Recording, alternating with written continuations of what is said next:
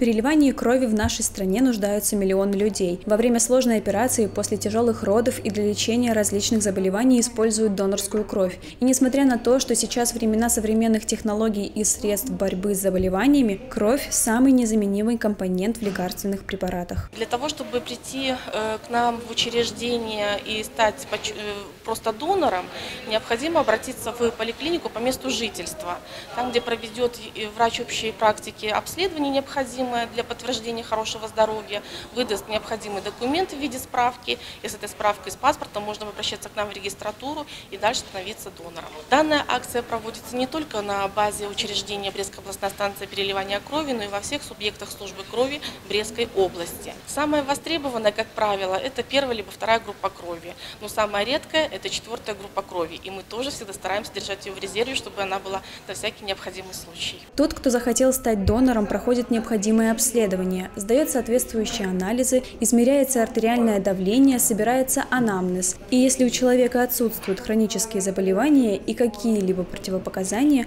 он имеет возможность стать донором. Тот, кто на постоянной основе сдает кровь, также часто обследуется и может быть спокоен за свое здоровье. Маргарита Цибуля давно мечтала о донорстве, но ранее не позволял недобор в весе. Набрав нужную массу, девушка впервые пришла на станцию переливания крови, понимая важность этого шага. Одногруппники сдавали кровь, и как бы тоже всегда имела желание, только, ну вот, я уже рассказывала доктору, что ну, всегда здорова была, но вес не позволял.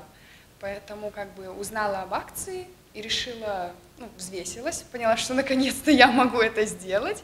Ну и пришла, ну, решила сдать. Разные ситуации бывают, и всегда нужно помогать людям.